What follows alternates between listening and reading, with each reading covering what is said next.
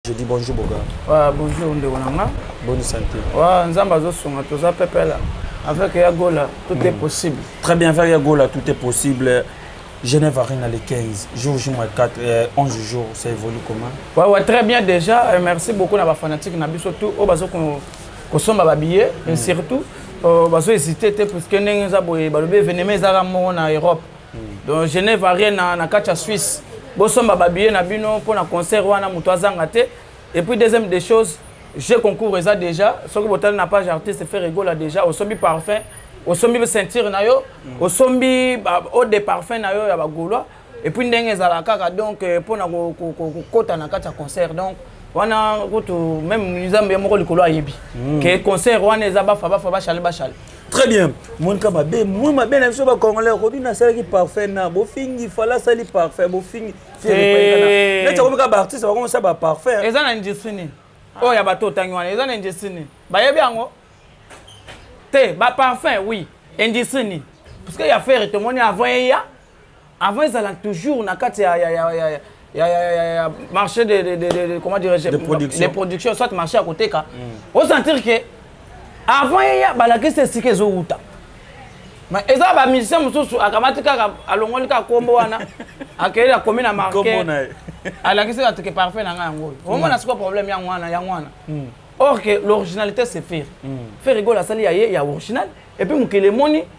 et puis avant eya bafuti bataxe makambo ebele ebele ewuti mikili ya poto basaleli yango baprecommande ezotekama en ligne ya bango ezotekama wapi mpo ya biso totie balie de vente ke mpo osomba okota na lien osombi ya bango tozomona kaka bafoto me etotekama wapi bazosomba yango wapi omoni te bozolinga kodifférencie te mai na mafuta hmm. ya biso totie lien ya kosomba ya biso yango mpo osomba okotaka na lien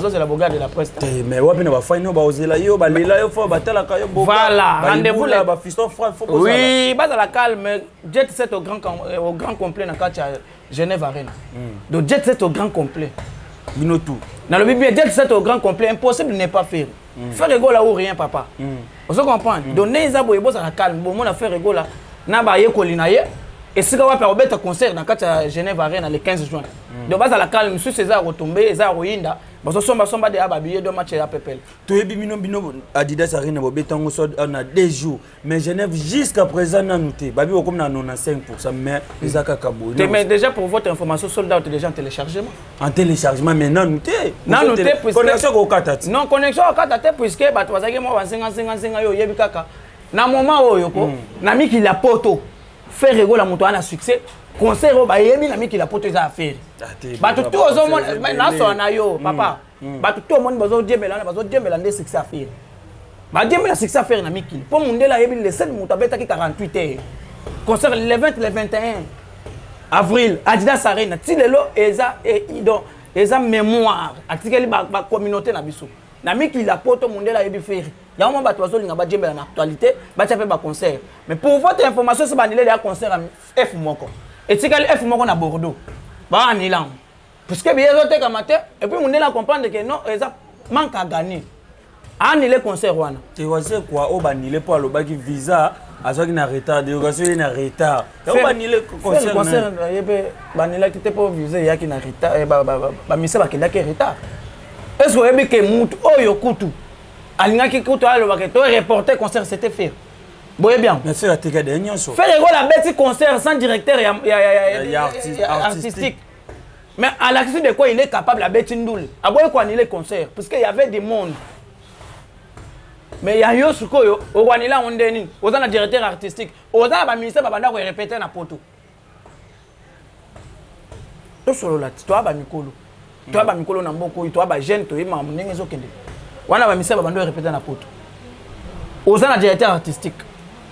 un musicien ata atikali ye moko il suffit kaka bakitariste bazala akoyemba pourquoi ye anilaki concert na ye anila mpoani professionnalisme eza te et puis pour votre information batunaki ye batunaki ye asalaki concert sanke atuna feri Oh. oh mais ferre na europe ye nde motu mondele ayebi te terre française eyebi mu wana mboka ferre egola motu azokotisa lare mondele acomprendre déjà ke bazobeta concert eza événement te ekotisa lare te na gouvernement français donc ba comprendre déjà que embouteillage ezo salema te billet ezo tekama te ba annule concert akosela bato mosusu bandoki eza suite ya billet suite ya billet ezo tekama te epuis mondele atali mpenza na baentreprise na ye bahotele bato bazokɔta te banila conseil mpo na biloko wana bakosoo te hmm, oyo ya wazeko oui banila yango mpo place azobeta concert bahotel oyo eza nzinganzinga bato bareserve te mundele atali mpena na babutike na ye babiloko ezotekama te putuke ntango ozobeta concert na poto il faut mundele asentir mpena ke ya l'événement frère ekola ntango abetaki concert na poto osentir baembouteillage esalamaki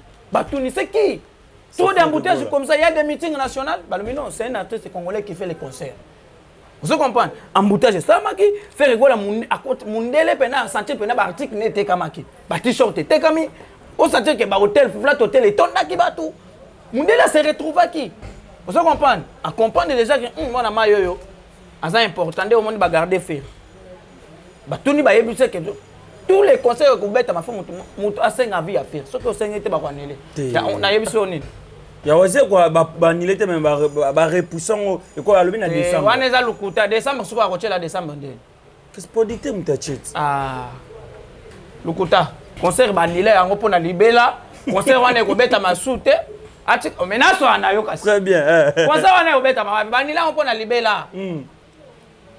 tolali tolamuki tomoni fere gola tizer na portugais fere couleur nini ya miziki alingi alakisela biso ake baline ya portugais wana nini ndenge nini ebele mpe bakomi koloba ebele ebele fere gola fere gola tizer ya portugais baportugais bango basengi fere ah, eh. baportugais baleka bacristiano ya banani banani bajua félix bango nde balobi mai mwa mbalo azoyembaka kitoko boye awa ah, akosala biso chanteli yango mona asalisa wana donc fere egola nzembo ya portugais wana soki bozoyoka yango mm. seke bafanatique oyo ya portugais bato basengi ye mm.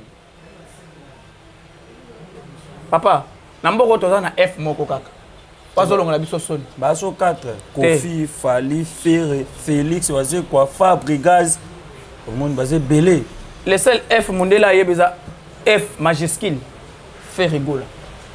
Moto alongola biso soni omonyo. Bofani. Ye kutu Banado akota akatana na course. Ye kutu akatana na course. Mwasi na akomoki mabambango na boulevard Tchatch. Ye na bana. Mbango ya marathon, bonga marathon. Sikoyo finalement bamipesi na sport. Te faut ça la sport. Abwaki ba gants. Na course ya musique batangaka ye so te.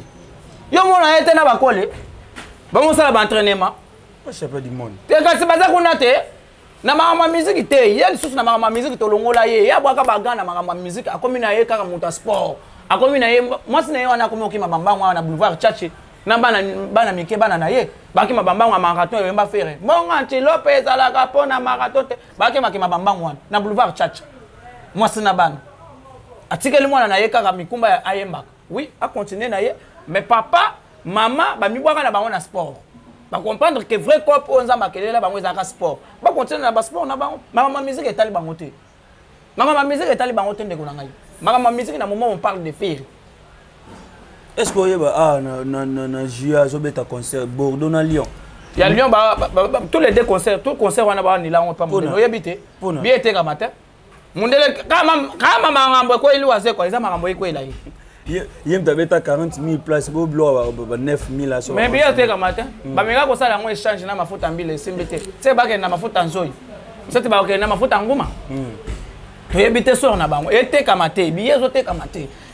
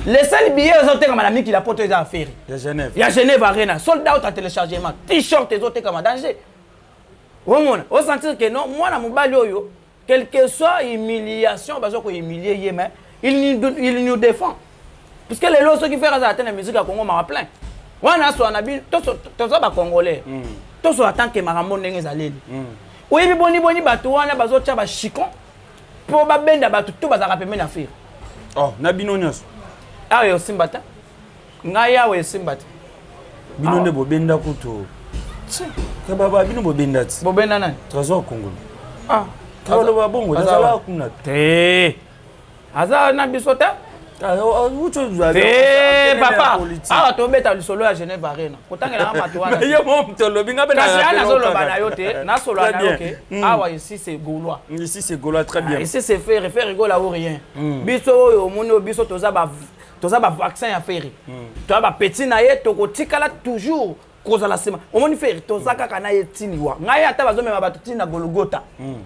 ata opesi bato bavisa bakende ti na golokota ngai ferre na ngai kaka ata omemi bato kinshasa mobimba okei na bango bo tokei gologota bokende gologota ngai nakozala kaka na ferre Ferre Gola ou rien. Soto lobango. Ferre Gola ou rien Bogar bato ebele bazo loba bazo commenter oloba olobelaka Ferre mais ba viser yango jusqu'à présent Bogar suite nous oyebana te balobi eso kokende te kokende te bato ebele bazo commenter ya kofinga bazo finga yo Genève yango le 15 jusqu'à présent yo oza na Kinshasa to oyeba te position eza ndenge nini biwa Ferre Gola kombo kuna eza to eza to tika ito tiki passeport te po ape wazeko adalo pe otika passeport il faut fali bon ye ye wazeko aza eloko nini wazeka aza nani aza eloko te bafanatike na ye banani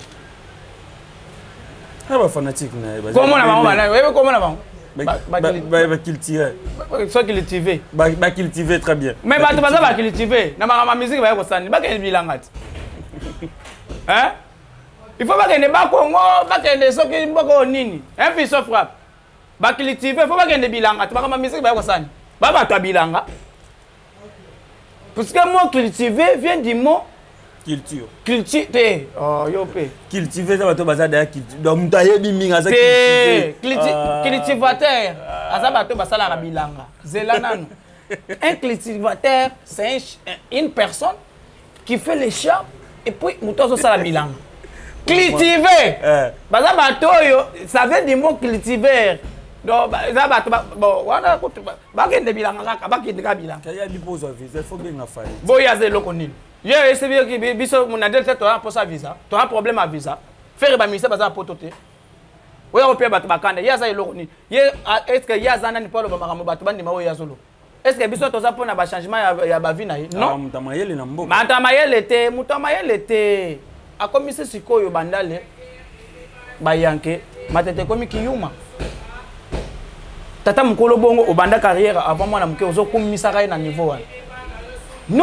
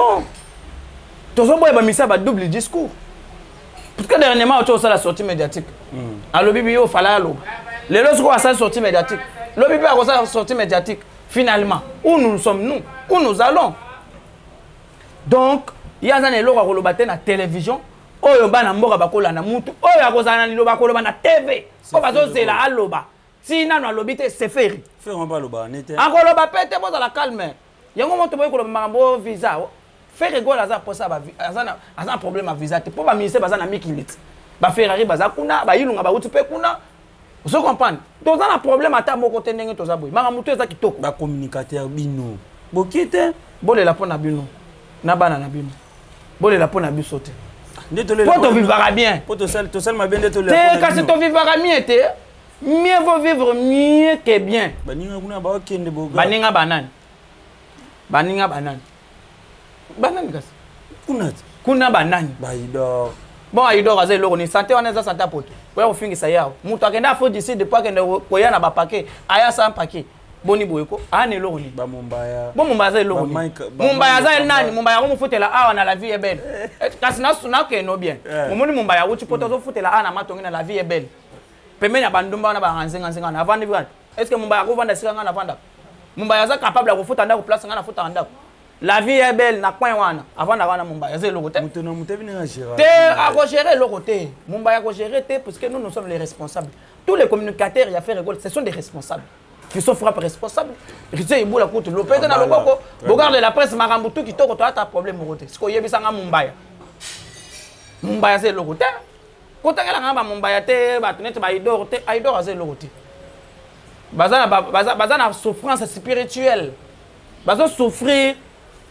spirituellement par là bino nde bozomona bango danger biso tosi tomona bango déjà baza baza bamosufra ya kosakana te na kini awa toyebani moto akolingisa moto a te biso tu toliaka bape victoire na baipake moto aliaka lipa eutaka lola a te oyo te ngai naliaka manda aza te moto akolengisa ngaa te oyebi kulera poto oh, nazoloba na yo kulera poto bo ngai nakenda dubai ti japon ti bango baso bakenda japon ngai nakenda ti japan bango bakenda japan boni boye ko okolengisa ngaa te ngai ata bokei ti gologota hmm. nakozala kaka na fere na ngai fere gola ou rien biso tu toliaka bamapa kokauka awa bakanga journée na bapin victoire moto aliaka mana eutaka likolo aza te donc inutile olengisa moto neti bogard de la presse très bien bogard de la presse donc na genève eza no entre parenthèse toyebi te so boki to boki bozala calme rendez-vous mm. le 15 juin avec ferregola tout est possible dit okangi na gauche droite keba hey, eh, qui a dit Pendant que Ferre Gola n'a pas encore les dernières mots. Qui a dit ça Tout le monde est en Wawati. Mais bon, mon aki, bon, mon aki, que non, yaya, yaya, yaya, kolo, bali, loba, souka, mbala, moko, ba, de, nyon, se zaki, libéré. Nyon, se zaki, libéré. Eh, ma, mon frère, kobuka na te, hein, na mboko, yo, Ferre. Très bien, na mboko, Ferre, ou rien. Ferre Gola, après événement, abimisi nzembo. Après, après, après Marty,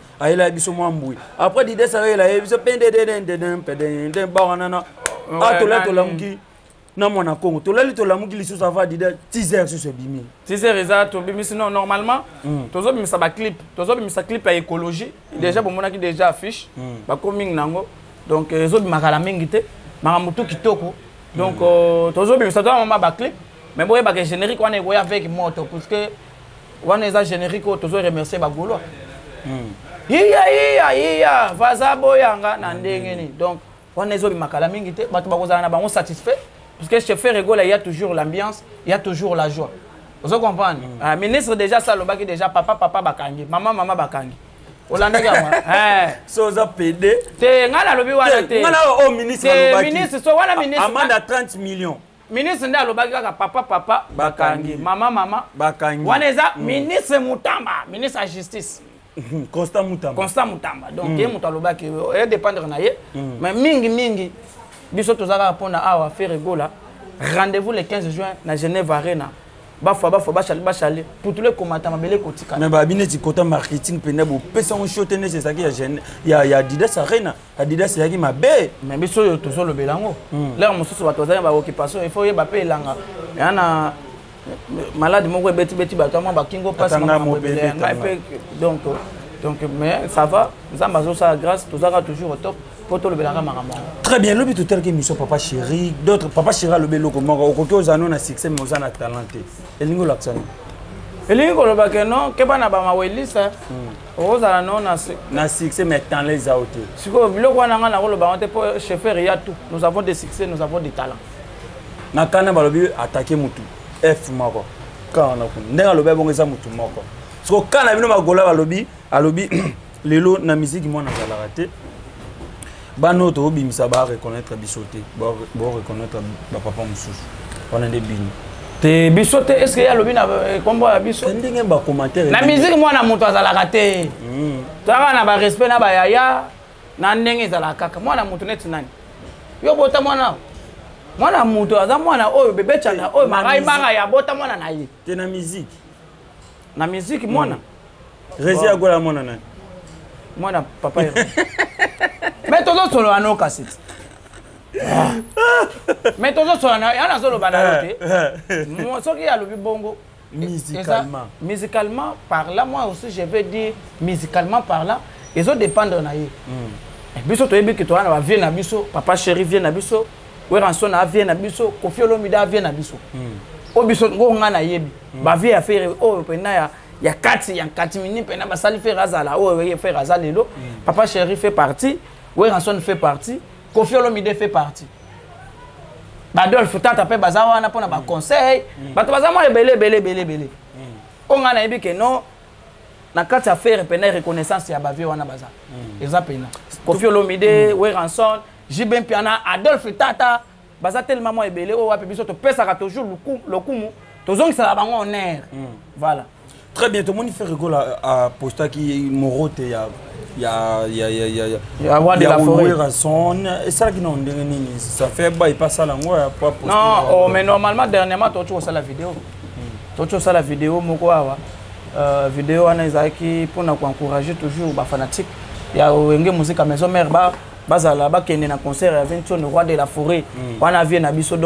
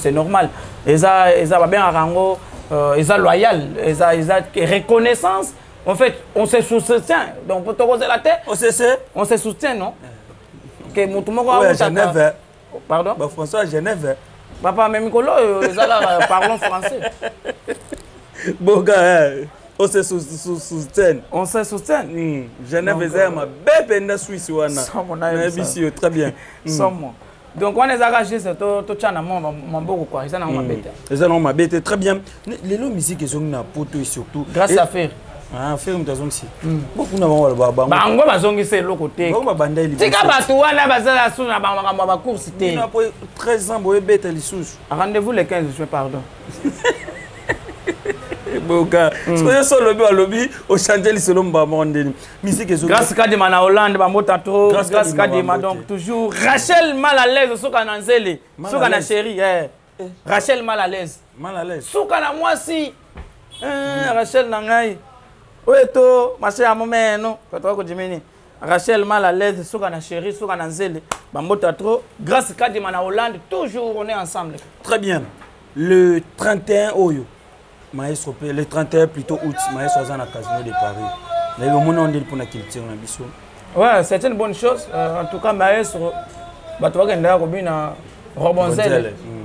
c'est une bonne chose ye mpe aza pire petit mpe ya fire rigola na biso mm. donc en tout cas bon courage à lui et puis aza mobali aza mesi ya moke te maestro mm. eh moto aya na batengama moto aya na bazegida donc azo mérite oyo aza baya mado en tout cas félicitation na lui na ye nayebi ke kote kuna déjà nazala sur naza mm. sur na maestro kwa bongo ko na septembre mpe héritier watana badida sarine wana ye moko na bato na ye nga nafana na ye te eza culture kaka te eh, culture eza teemata kaka te lokuma eh, mboka ye moko ayebi bato luka bato oyo ngai nalobelaka ye te en tout cas lokuta mabe nakipaka makambo na ye te nabetaka yango kaka parce que hmm.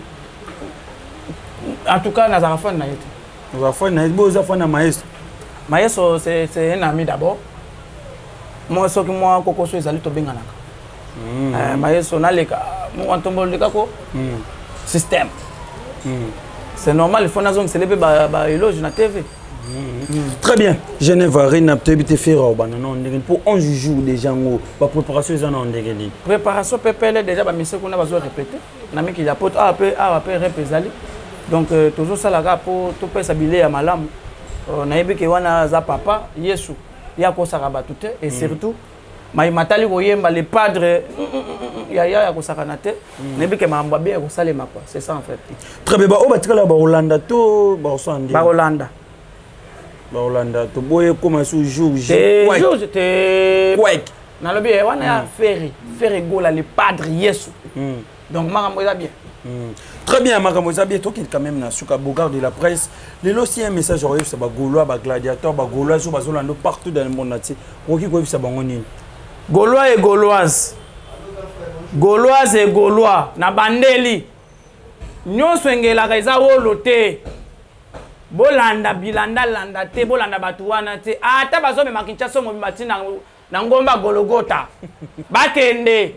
biso toza kaka na fere na biso fere gola ou rien balinga balinga te toza na ya sheta fere gola le padre yesu yaya na bango esi banile concert ya f moko etikali f mosusu na province bazo anile yango mpo eza na bamusicien mosusu ataka ye kobeta concert na lifeli mm. banile yango kaka oza sir o oh, me na sor na yo te france eza ya bango ya france c'est-à-dire ya f ka visa kuna babi fo ye ti ye aza nani toyebi mpe te ye aza nani nde ka toyoka po tokomona bavideo bazoloba ah. mais yo ozoloba bon oyebi ke awawa mwa mobali oyo aza awa pire peti azalaka na yawa